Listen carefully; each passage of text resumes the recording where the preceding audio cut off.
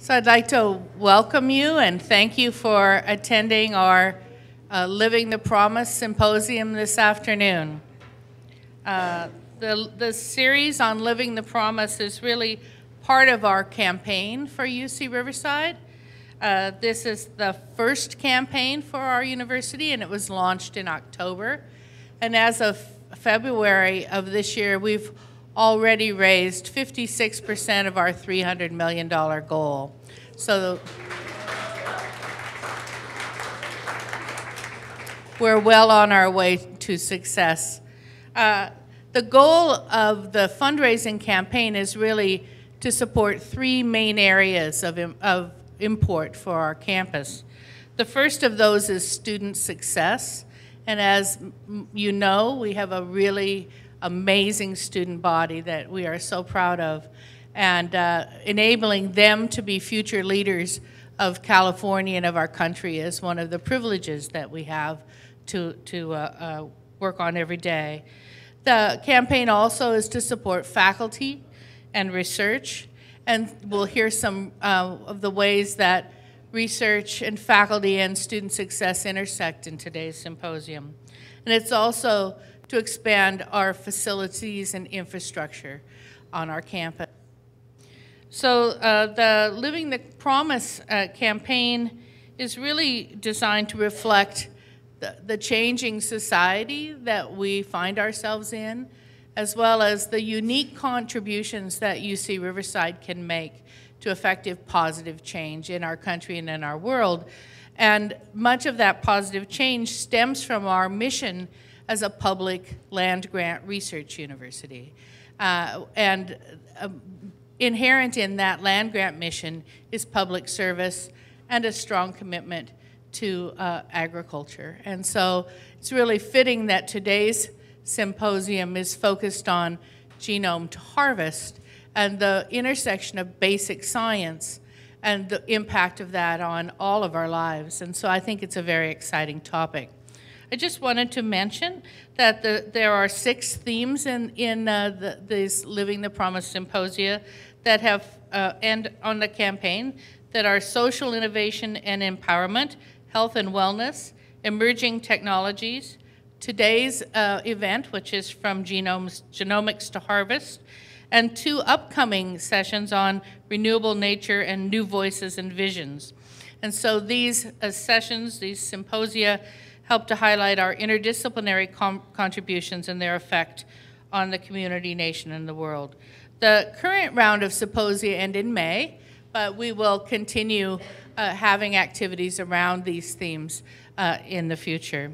And so with that, I would like to uh, introduce Phil Roberts, uh, who is a professor and chair of nematology Phil uh, works in uh, areas that uh, center around genetic improvement of food crops. He's worked on a variety of crops, but one of the most important is uh, cowpeas, and so I bet we'll hear about some of that today.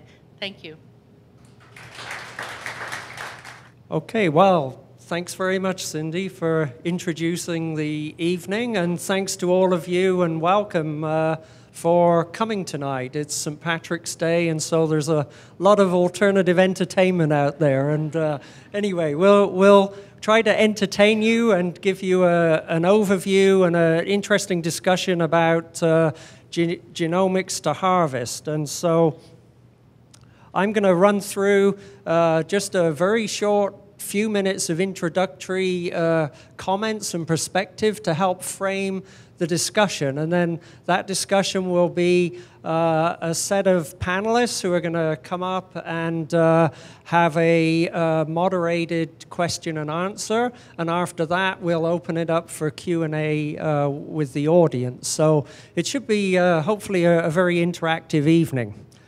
So what do we mean by genomics to harvest? It's a, it's a label or descriptor we have to encompass uh, research that we do um, on campus here, all the way from the very uh, most basic uh, cell and molecular investigations of systems through the translation of findings and new knowledge from that base to application uh, in agriculture and hopefully improvement of productivity in terms of uh, uh, the need to feed people. So, one of the things I wanted to do as an overarching perspective, and many of you are aware of this. Our global population is on the rise.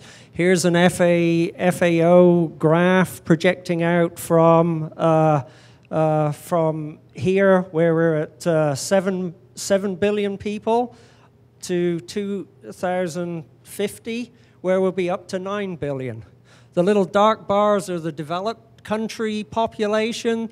The, most of the growth in those uh, green parts of the bars is the developing world.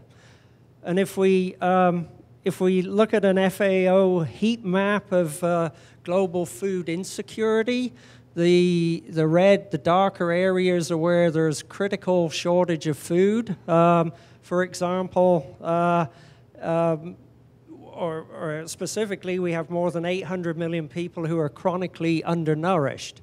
And in the light areas like the US, we have problems of food security, even on our own campus, in terms of access to food and so on.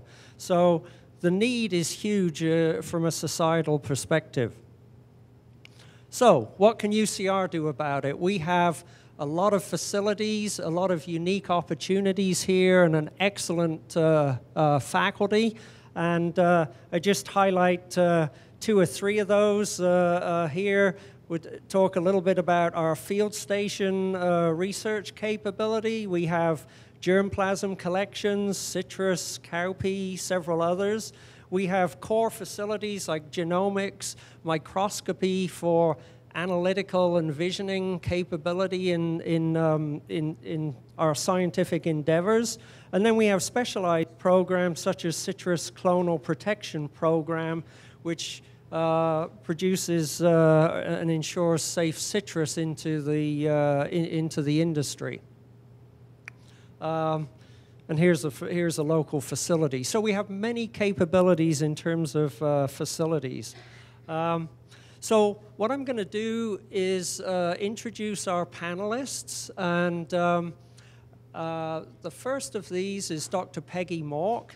And that also allows me to say just a little bit about the, um, our research field stations. Peggy is uh, a CE specialist for subtropical crops. She focuses on uh, stresses in these crops, uh, works on uh, citrus, avocado, mangoes, uh, dates, and currently is investigating uh, avocado rootstock responses to salinity stress. And Peggy is also the director of our agricultural operations, our, our field station capability. And so the amazing thing here, if you don't know, is how many crops we're able to grow for uh, research and education purposes. Uh, variety of tree crops, so we've got some of them here, dates, grapes, citrus, obviously, avocados.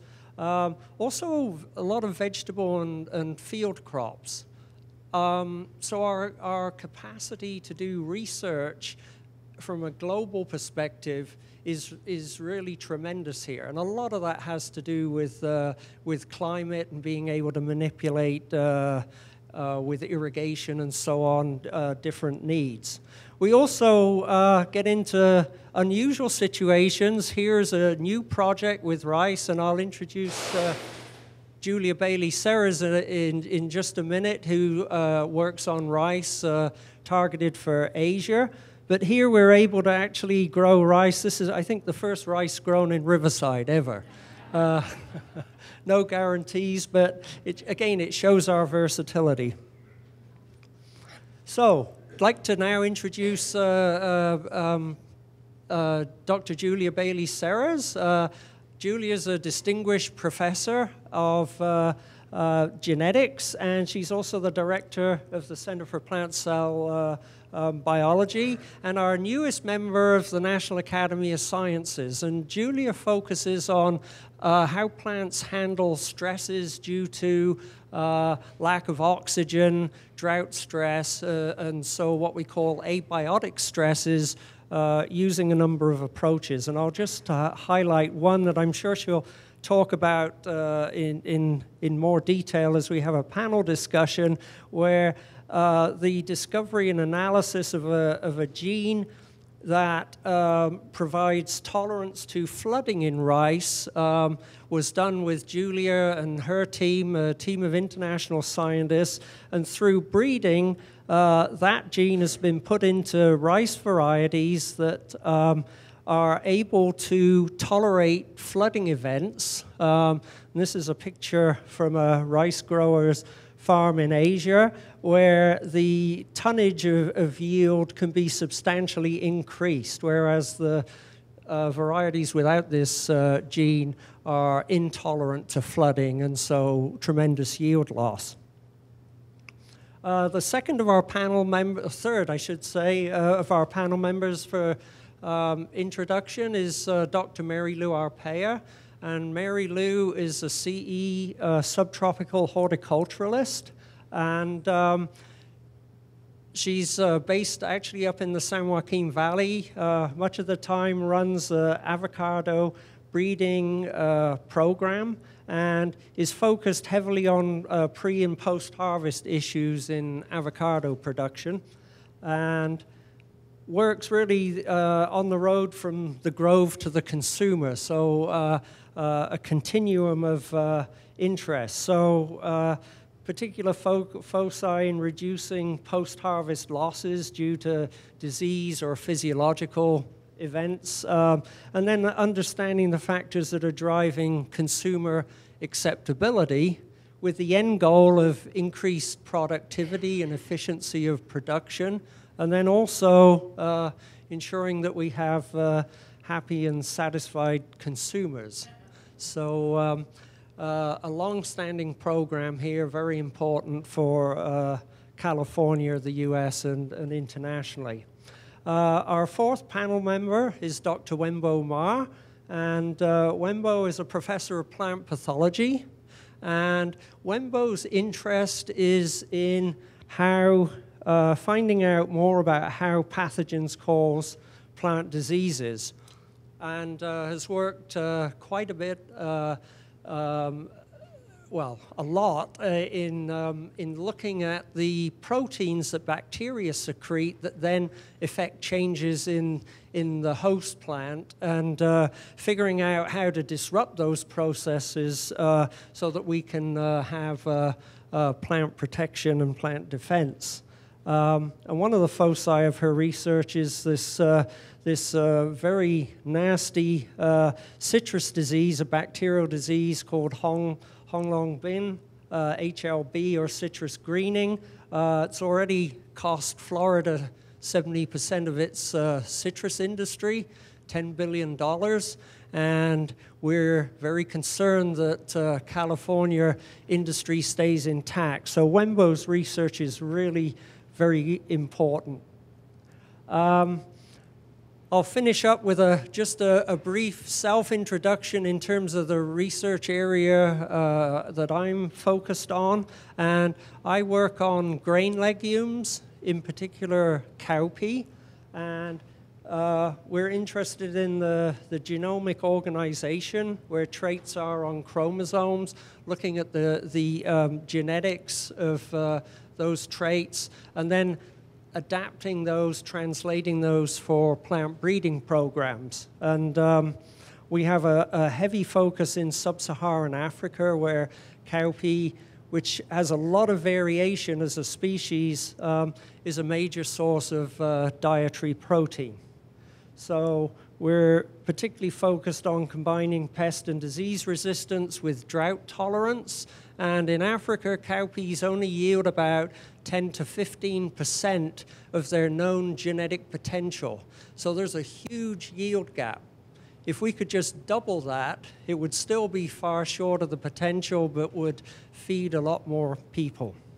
So that's my panel introduction, and I'd like to finish up with introducing our moderator for this evening, our uh, Dean of the College of Natural and Ag Sciences, Kathryn Uhrich. And um, Kathryn's background Kathryn's an eminent scientist, she's a chemist. Uh, many, many publications, more than 70 patents, and uh, heavily vested uh, in her career in the training of undergraduate and graduate students. And that's a theme I think we'll pull out tonight because the research frame creates a, great opportunity for education. Um, and Kathryn oversees a college with uh, a very large base of students, faculty, staff, and alumni. So, with that, um, thank you for hearing my introduction, and I'll hand things off to Kathryn.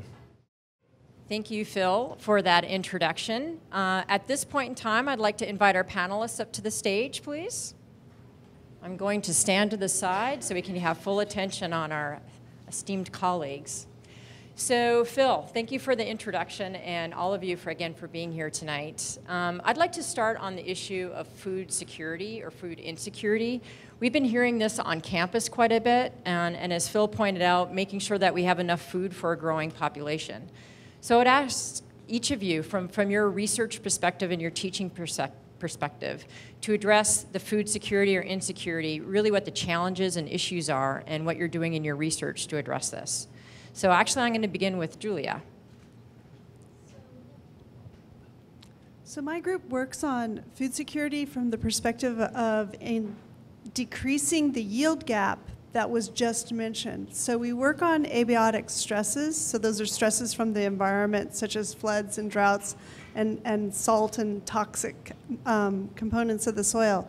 And if we can just in, make plants a little bit more tolerant of these different stresses, we can help to close the yield gap. And so we work on that with, in rice. Wenbo. Yeah. So my group um, is trying to address this certainly very important issue by uh, promoting the plant resistance to pathogens.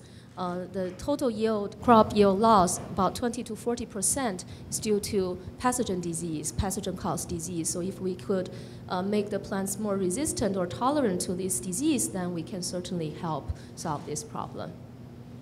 Thank you. Mary Lu. Well, um, as Phil indicated, I work on looking at pre and post harvest factors. And uh, in, even here in a developed country like the United States, 25% of our food or more is lost to wastage after harvest. And in developed countries, this can be 60 to 70%.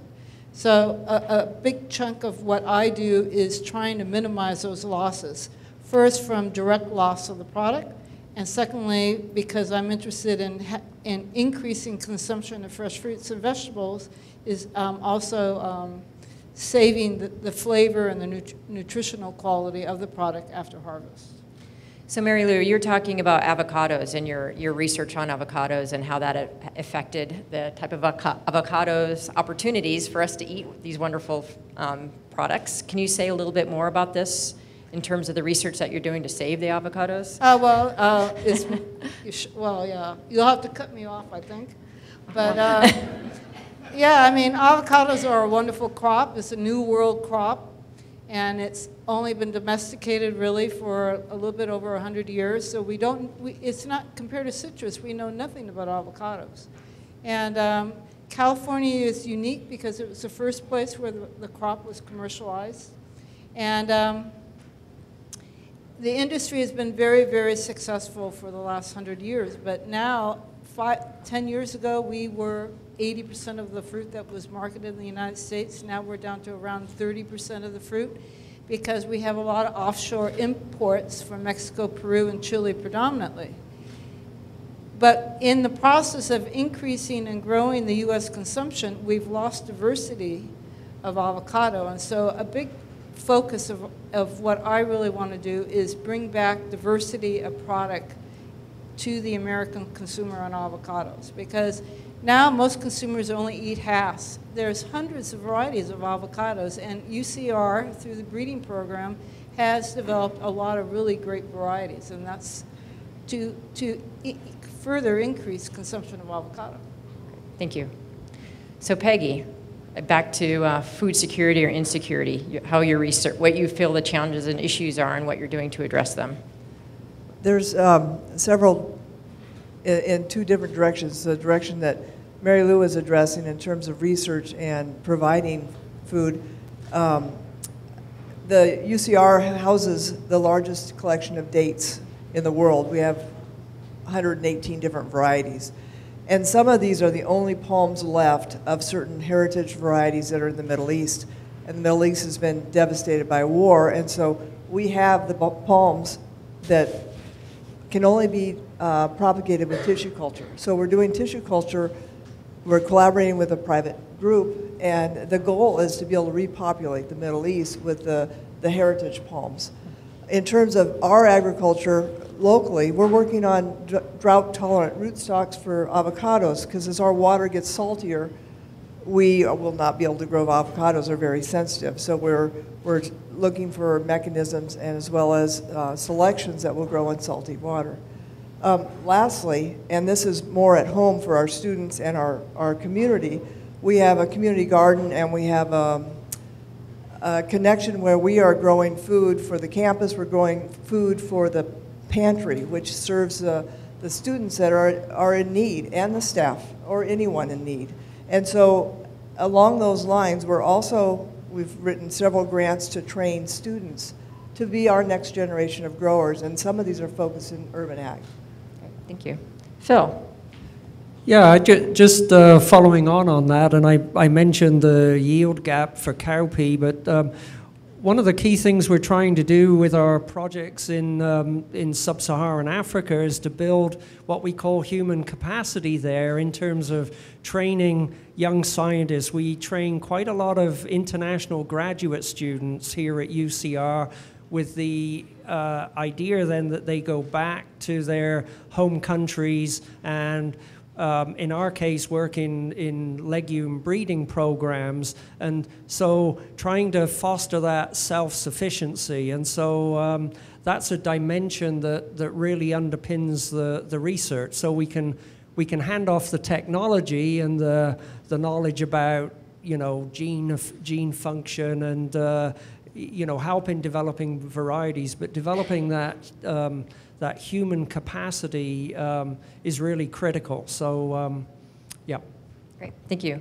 So moving along, perhaps from gene function back to genomics, which is uh, one of the topics, I'm going to direct it to uh, Julia again. How can we use genomics to advance the way that we grow food? Well, first I want to just make sure that everybody knows what we're talking about when we say genomics.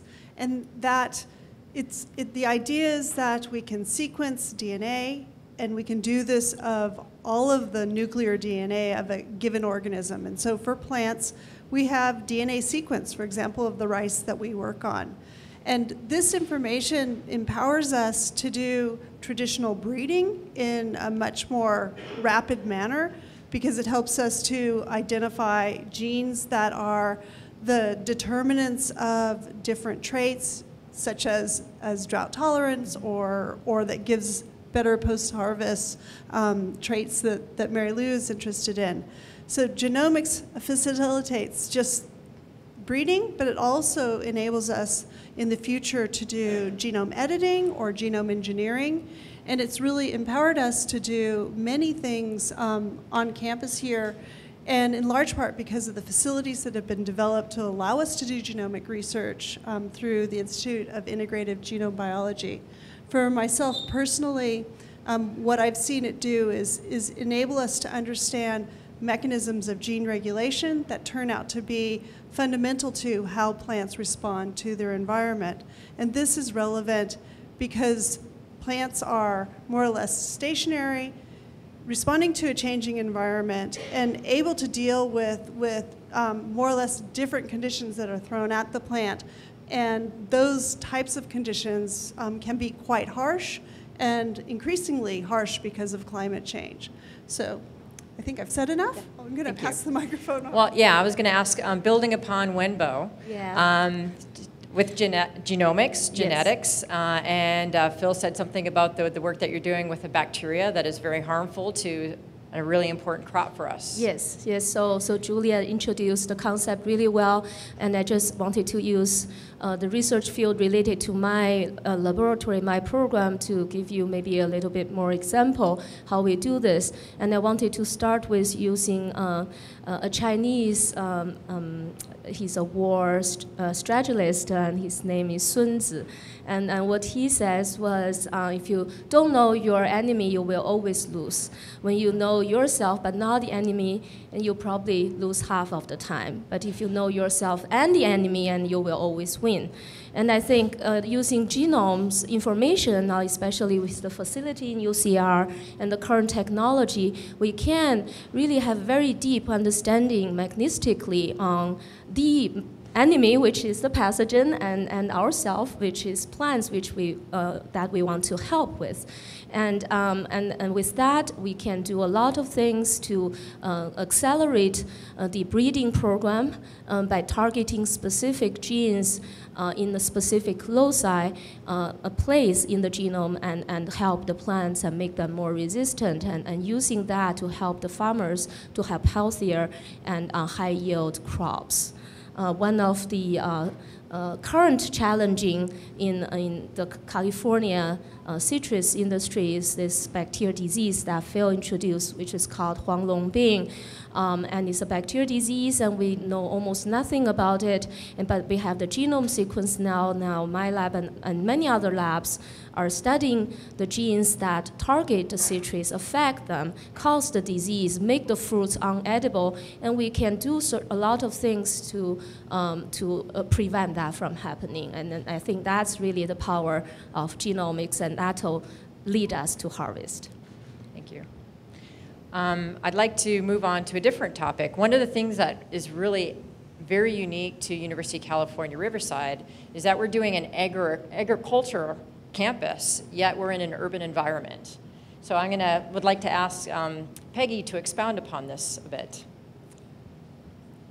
Excuse me.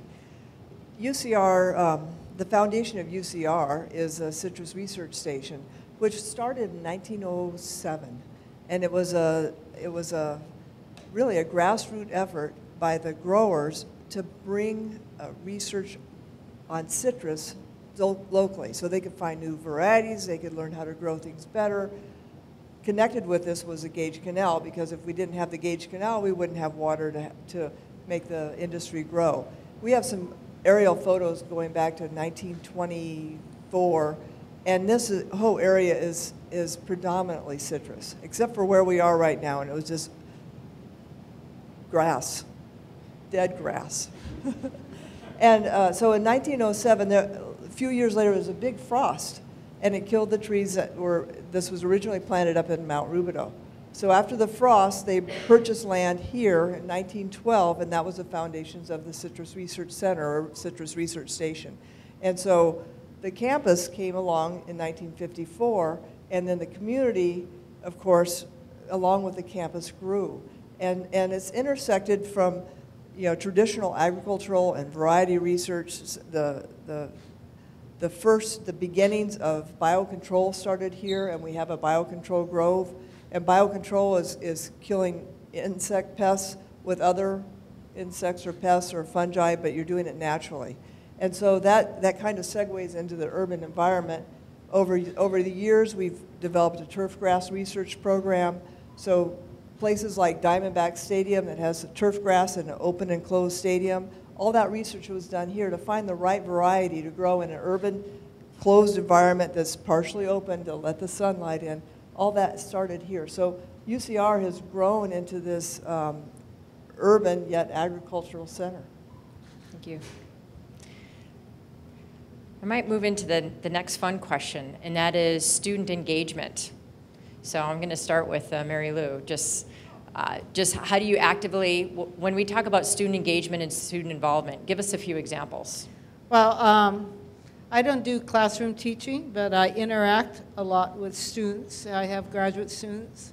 And um, the way I like to engage them is to bring them into the research challenge them with questions and, and teach them how to think, how to be critical thinkers, because I think that's something that is lacking really, in our society, critical thinking and using the agricultural, using avocados, using citrus, which is another crop I work on, to um, form the foundation for critical thinking that will take them to the rest of their lives no matter what they work on.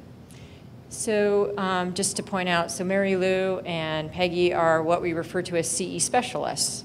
So it's a, a slightly different term that everybody might not know what that means, uh, which involves training, which is also teaching. Can you, can you say a few words about this? Sure, I do. Um, I work. Um, I've I, I work directly with growers and grower groups. I'm uh, have been an industry liaison with the citrus and avocado industry over the, my career. I've worked on their communication and education committees, organized industry meetings, um, work with our county um, farm advisors, training them. They're our students um, in the biggest sense of the word because the specialist is supposed to train the advisor who works directly with the growers. And so it, it is an ever change, it's not the classroom, it's not the traditional classroom, but it is training people. And I've had the opportunity to travel abroad where I've done a lot of training. And always again, though, I try to come back with never giving people the answer, but make them think about what the correct answer is. Great, thank you. Phil? Yeah, so uh, student training. I, I mean, we're a research university. That's our uh, currency in terms of, of, of what we do in large part. Um, as researchers, we can sprinkle some of our new knowledge into the classroom, but I think a, an even more important dimension, uh, and it's really gathered a lot of momentum, is that uh, beyond graduate student training, which is research based, we now have uh, a lot more undergraduates uh, coming into labs for either volunteer or uh, work study programs and so on. And so they are being immersed in the scientific process. And it's really exciting to see how many of them really get turned on to science. And they may, may not do that otherwise when they're sat in a lecture theater with three or four hundred others and the professor's a, a dot up in the front. But to actually engage them in active science is, is wonderful. And I think that's a, a real strength that we have and a, a momentum um, going forward. So. Thank you. Julia? I'd like to add that one of the opportunities that genomic research and this effort to go from genomics to harvest brings to us is to train students interdisciplinarily. So, genomics um, involves gathering a lot of data, and so computational biologists are absolutely essential for our work, but that means computer scientists. It, there's also the opportunity to um, engage students in engineering in the, this sort of research, working with plants, for example, designing sensors to go into the field to regulate whether or not there's too much salt or enough water, and then also even to detect pathogens that Wenbo works on. And so I think that the types of education that we do here um, can be quite a-traditional, and there's quite a few opportunities as well. Thank you.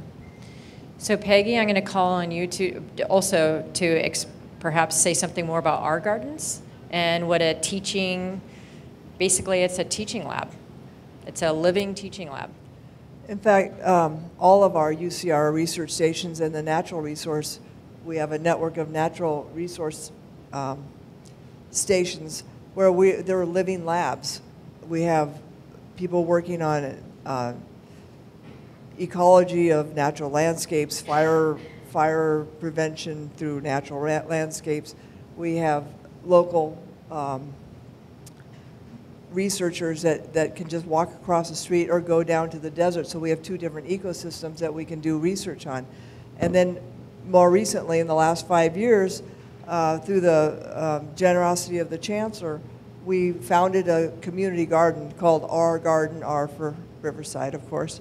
And so we, we have um, a student, uh, he was a student, he's a manager of the, of the garden, and he's doing active student training. He's doing community engagement. There's community plots that are available.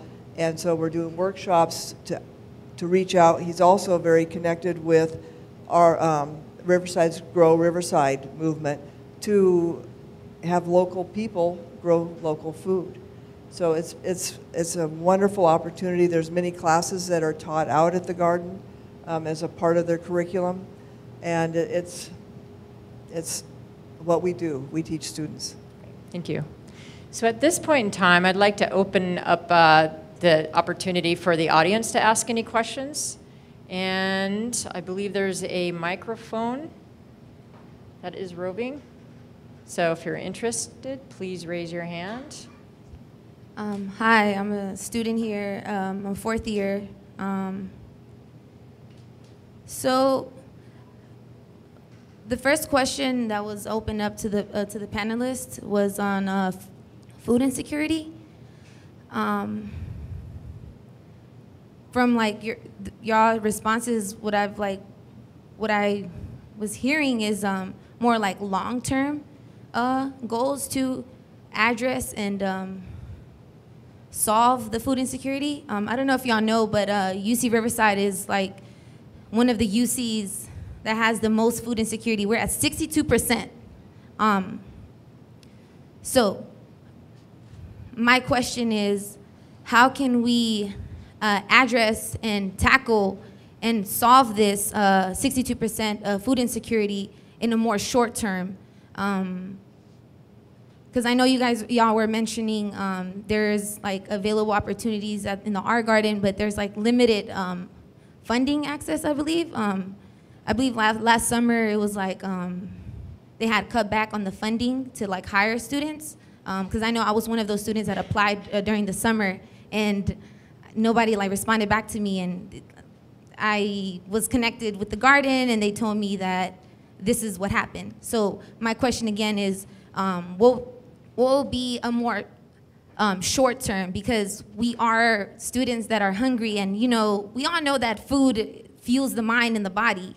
And when we don't have um, enough food to eat, we can't fuel the, the, the, the mind and the body. We can't constantly um, attend our classes um, because it affects us uh, both physically, mentally, and emotionally. Um, so again, will be a more short term because we are students that are hungry, um, eating one meal a day, um, most just preserved like meals that are that have preservatives, just microwavable food. Um, and I know y'all said that the R Garden and, and the R Pantry are, are resources, but um, I believe they're more like band-aid solutions. Because again, um, the R Garden is just three acres of land, um, and it's 62% of students um, suffering from uh, this food insecurity. So, what will be a more short-term and urgent um, action to address this um, this concern? Because I am a student, I am I am food insecure. Um, yeah. It's a good question. I think we have a few people who can answer that. So, so those of you that, um, it's a nice size audience, and food insecurity is a term that can ring differently in uh, other people's ears. So some people think that means that your food supply isn't safe. That, that can be, it can be used that way. But in this case, we're, we're talking about a survey that was done through all of the UC campuses. They surveyed as many students that would respond, and it was a very, it was a nice size survey uh, hundreds, thousands of students. And at UC Riverside, 62, 60 something percent of the students reported they skip one, at least one meal a day because they can't afford it. Not because, you know, you don't have time to grab a bite to eat, because that was one of the questions in a previous survey. Are they just skipping a meal because they didn't have time? But in this case, they, it was very specific. Did you skip meals because you couldn't afford to, to eat? And that is tragic. UCR has the largest diverse population, so I would expect us to have a certain, um, a different level of everything, because we, we are a wonderful, diverse campus, but we shouldn't be number one in, in that segment. And so the immediate need, and UCOP, University of California Office of the President, put together a, a plan that is part of the Global Food Initiative, and it is to fund uh, food shelters for different campuses. And UCR was, was um, that, that was a foundation to get a food pantry going. And unfortunately, it was a really small pantry, but it was the first time, and it was space that was available, and the food that was being donated tended to be um, off-the-shelf, high-sodium, high-carb, low-nutrient content foods that were being donated. And, and that's not going to help in the long term. You need to have fruits and vegetables. And so I'm working, um, I'm with the Global Food Initiative. I'm the campus leader for the Global Food Initiative, and we're working with the Well Wellness Center, and we're devising plans. There are connections to, to bring students into programs where food is available. And so we're trying to make that process easier and, and expedite it so more students are, have, are, are reached. But one thing that we'd like to do, and one thing that said I can envision with the, with the garden, and we have more than just three acres available to us, but that three acres was dedicated to the students. This doesn't mean that's the only thing that's going to feed the students. But if we were at the pantry, if they give you a meal ticket, you can go out to the garden and pick up a, a basket of fruits and vegetables or whatever. And so those are ideas that are, are growing. And the funding is, um, UCOP unfortunately only gave the same amount to every campus. And UCR got, has 62% need, and it's a new program, and they would need more money than um, UC Davis, which has, le- you know, UC Davis is, um, has had this type of program for a long time. So there wasn't a lot of equity in how the funds were distributed, which is understandable because they're looking at it from a different dynamic of um, being equal. It's like my mother, she gave us all exactly the same thing. Um, so all campuses were equal, but it, it is a the foundation for growth. And so I'm not giving you a specific answer, but we are working on it. Very hard. Phil? Well, yeah, so Peggy, I think, addressed some of the, the efforts in, in the short term. Um, you're absolutely right uh, in terms of the perspective we, we introduced, which is a longer term effort. And I, you know, the kinds of research that we're invested in and active in are actually quite long term in their, um, their outcomes. Um, and so, you know, when you look at the, the um, you know, the population growth in the world, the projected population growth, and areas where there is chronic famine. Um, so in sub-Saharan Africa, where we work, um, there is typically a hungry period in the off season where pretty much the whole population doesn't have enough to eat. So you're talking about very chronic, ingrained shortages of, of food, and you hear about these.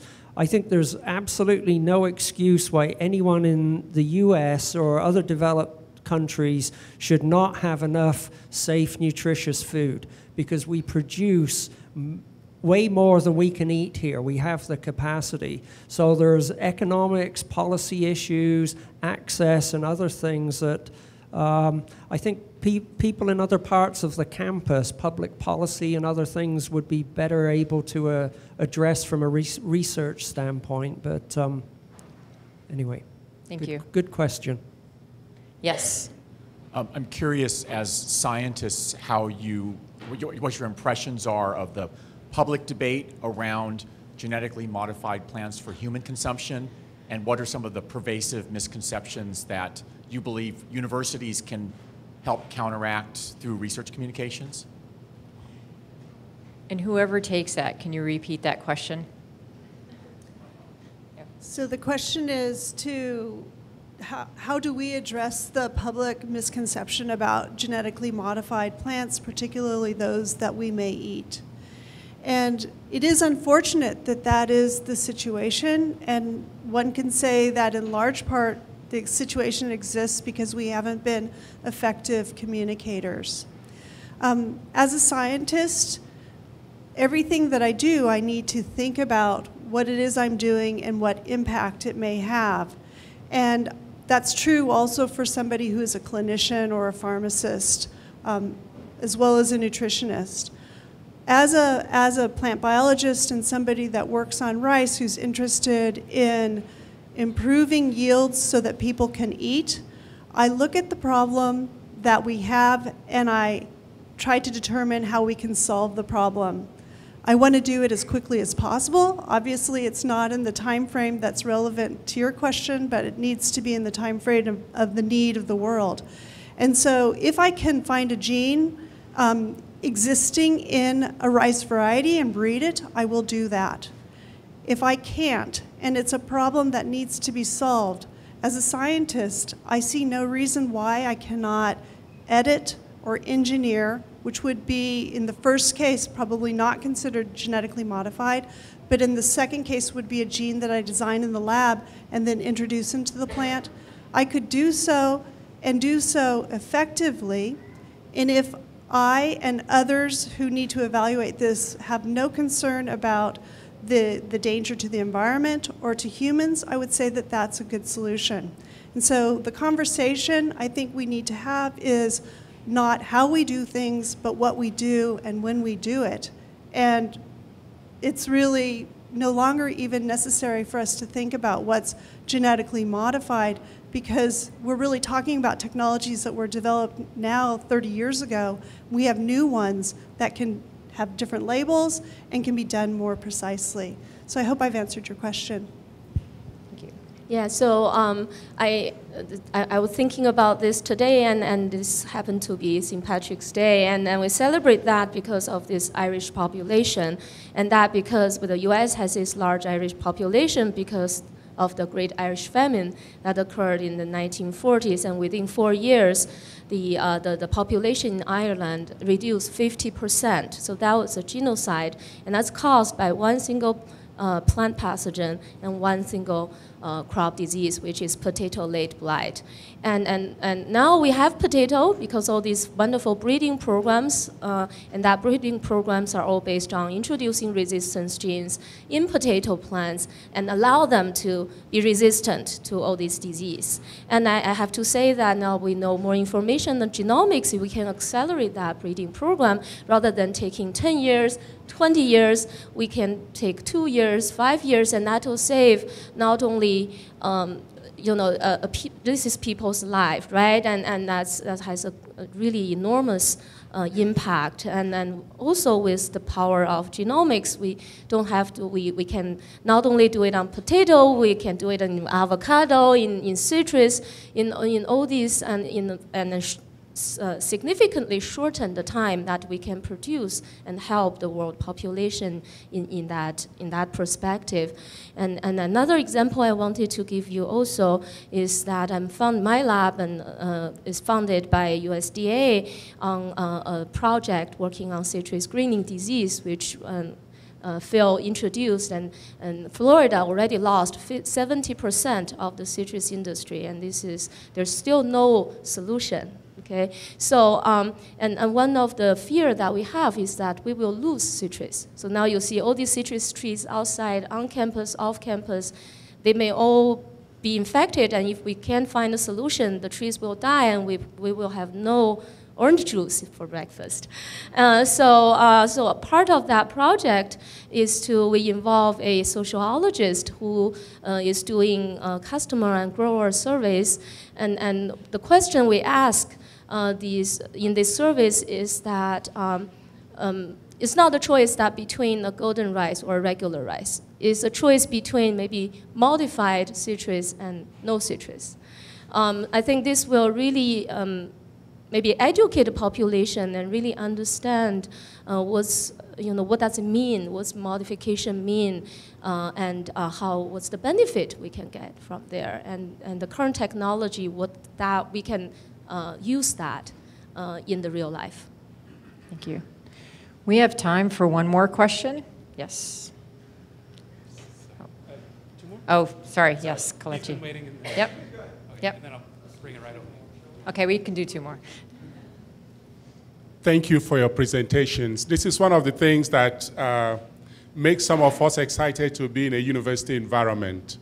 So uh, when we think about food insecurity, Phil, as you well know, in the case of sub-Saharan Africa, and many less developed countries, part of the problem is the absence of uh, storage. But here in the United States, I wonder the extent to which food insecurity is a function of distribution. Because you do have food available across the country. How well are these distributed and made accessible to those that need them the most? That's one question. My second question to you wonderful research. I am wondering to the extent to which you are bringing back the students you have trained over the years, say every five years or every 10 years. I love the theme of the campaign, Living the Promise, to see the, the fruit you planted, what they are yielding out there in the field, so we can know the ways in which uh, to modify the curriculum or to learn from them and they can learn more from us to continue the cycle of engagement. Thank you. Well, I can address maybe uh, the first part of your question. As I indicated earlier, even here in the United States, it's estimated that 25 to 30 percent of everything that is harvested ends up in the garbage can because of waste. And that's due to poor handling by the grower when they harvest it.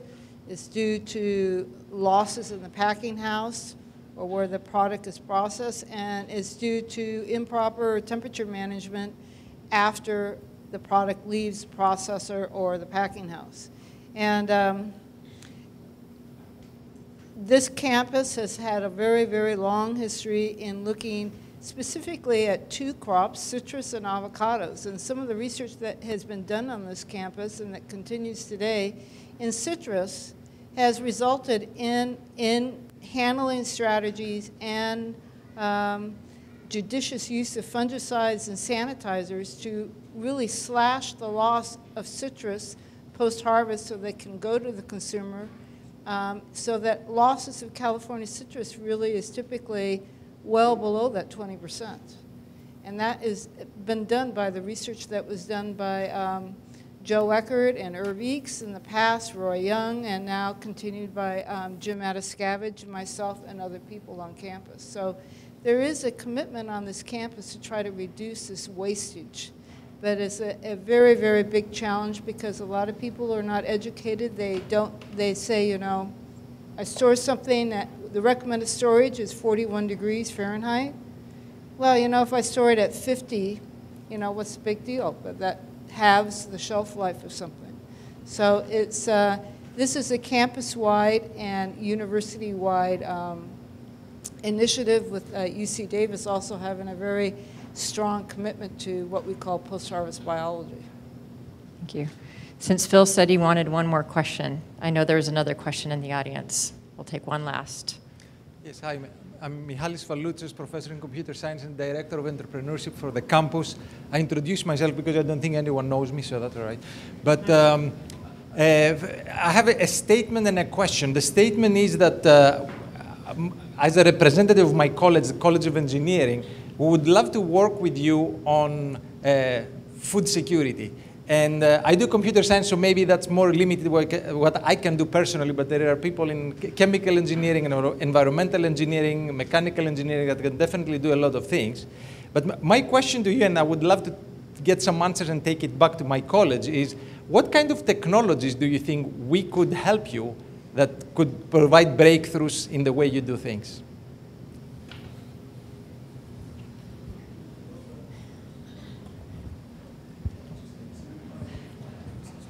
I think you stumped them.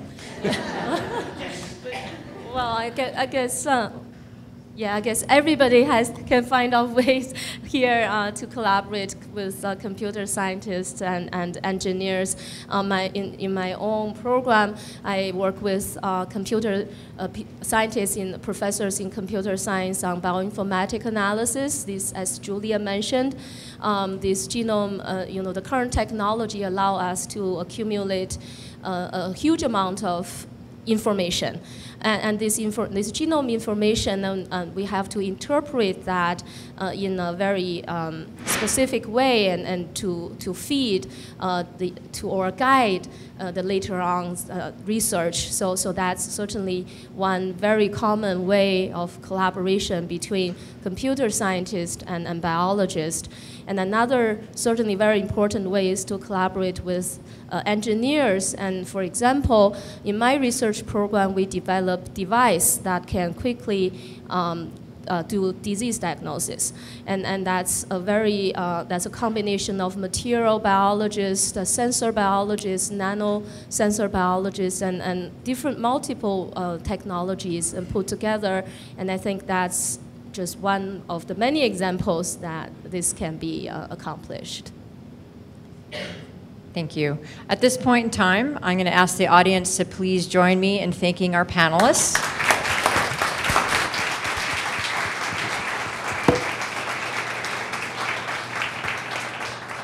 We've gone through approximately half of our program. We actually have a menu outside of different foods derived, many of them derived from uh, UCR products.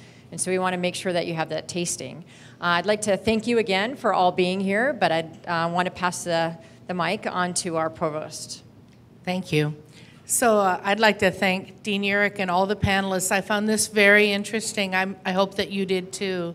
I also just wanted to, to reflect a little bit about you know, what we've heard today, the role of science in helping to solve these very large global problems like uh, food insecurity, but also the realization that our reality here at UCR is different than that in sub-Saharan Africa, and that food insecurity here really reflects the, the unique uh, status of our students. And so a real way to help with that is to make a contribution for scholarships, to hire UCR students for internships, to support their summer research or other kinds of activities. And so one of our student success goals of this campaign is oriented towards our students for that very reason. And so um, th thank you all for coming and please uh, let's enjoy uh, the bounty that we have outside.